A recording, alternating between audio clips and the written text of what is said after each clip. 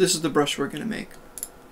Start with a really bright color, something that's just fully saturated. Press F5 to bring up your brush presets. Let's use a size of about 100 just for simplicity and a hardness of close to 100, 95 is good enough. And let's space it out 120-ish. And turn on shape dynamics. Turn size jitter all the way up so you get all these different sizes. And turn on your scattering. Let's scatter it a lot. Let's scatter it 280. Turn the count. 5 is good. And jitter the count as much as you want. Let's say 65. And this will spread everything out. Let's spread everything out more. Here we go. It's a bit better.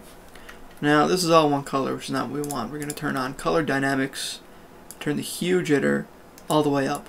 And what this will do is every stroke will get a random new color. And if we turn on apply per tip, then every single bubble will have its own color. So it's more like this, which is more like what we want. And for a bubbly look, double click it to get up to our blending options and let's give it a smooth inner bevel with a depth of only 35, size 35. and Let's soften it about 15, which is basically maxed out. Let's turn our highlight mode to add, just so it's a little bit brighter, and turn both these shaders up to 100%. And you can play with the size. I find if you turn the hardness down, it doesn't look quite as good. It's kind of more of a spray painty look. Enjoy this festive brush now.